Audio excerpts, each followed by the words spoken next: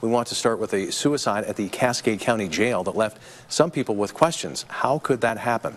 I spoke with Sheriff Jesse Slaughter to get some answers. We are not a, a, Warm Springs or a facility like that that is equipped to deal with people suffering from um, issues. Alicia May Kempa had a documented history of mental illness.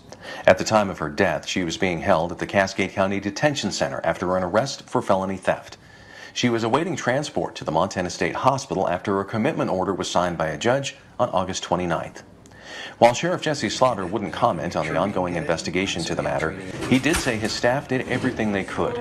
Slaughter says his team undergoes crisis intervention training to help recognize mental health issues.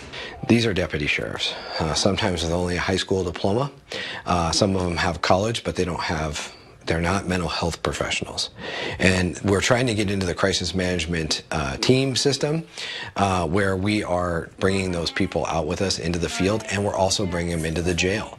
Even with the training, Slaughter says a detention center staff shortage and lack of state mental health facilities make the challenges greater. It's not enough.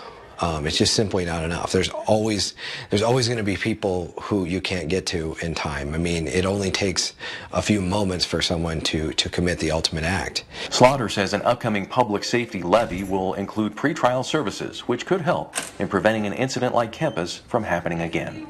A pretrial service would likely keep a person who's suffering from mental illness out of the facility.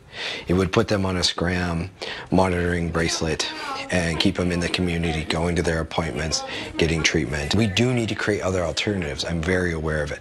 The jail is not the appropriate place for people suffering from mental illness. According to the National Alliance on Mental Health, one in five U.S. adults experience mental illness each uh, each year. One in 20 experience serious mental illness each year, and one in six U.S. youth ages 6 to 17 experience a mental health disorder each year. 50% of all lifetime mental illness begins by age 14 and 75% by age 24. Suicide is the second leading cause of death among people aged 10 to 34.